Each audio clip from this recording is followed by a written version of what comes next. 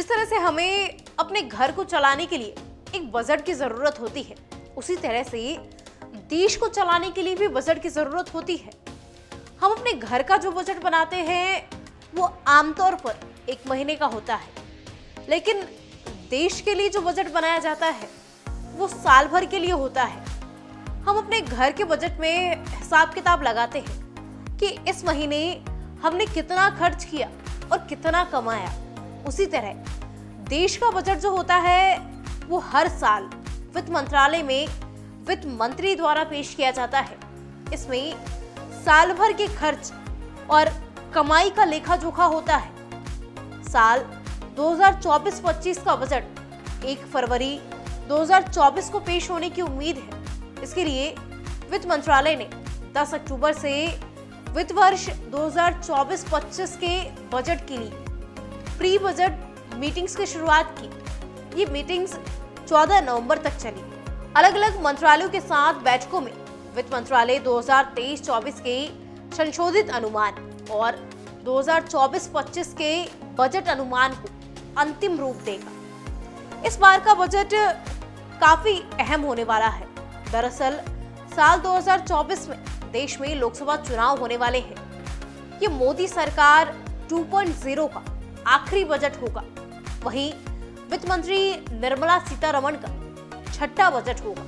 उन्होंने जुलाई 2019 में पहला फुल बजट पेश किया था।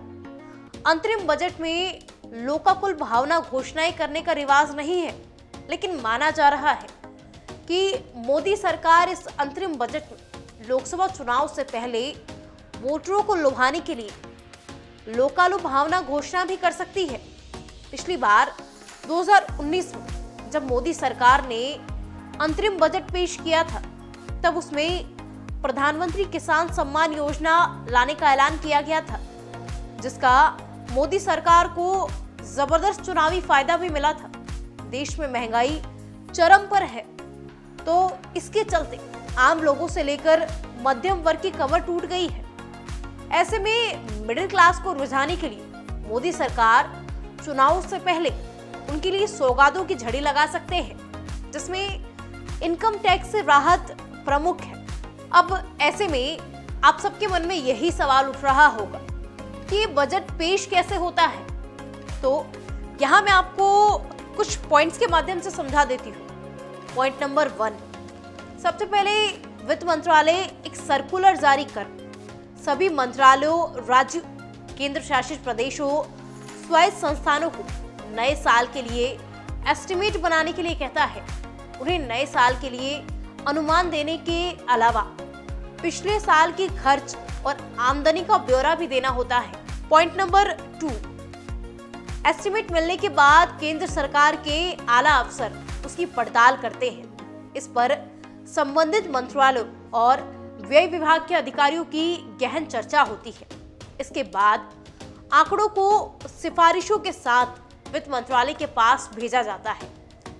पॉइंट नंबर थ्री वित्त मंत्रालय सभी सिफारिशों पर गौर करने के बाद विभागों को उनके खर्च के लिए राजस्व का आवंटन करता है। राजस्व और आर्थिक मामलों का विभाग हालातों की गहराई को समझने के लिए किसानों और छोटे कारोबारियों के प्रतिनिधियों और विदेशी संस्थागत निवेशकों से संपर्क करता है। Point number four pre budget meeting में वित्त मंत्री संबंधित पक्षों के प्रस्ताव और मांगों को जानने के लिए उनसे मिलते हैं। इनमें राज्यों के प्रतिनिधि, बैंकर, कृषि विज्ञानी, अर्थशास्त्री और कर्मचारी संगठन के प्रतिनिधि शामिल होते हैं। प्री बजट मीटिंग खत्म होने के बाद वित्त मंत्री सभी मांगों पर अंतिम फैसला लेते हैं। बजट को अंतिम रूप दिए जाने से पहले वित्त मंत्री, प्रधानमंत्री से भी बात करते हैं। पॉइंट नंबर फाइव बजट पेश होने से कुछ दिन पहले हलवा सेरेमनी होती है। इस बड़ी सी कढ़ाई में तैयार किया जाने वाला हलवा वित्त मंत्रालय के स्टाफ में बांटा जाता है।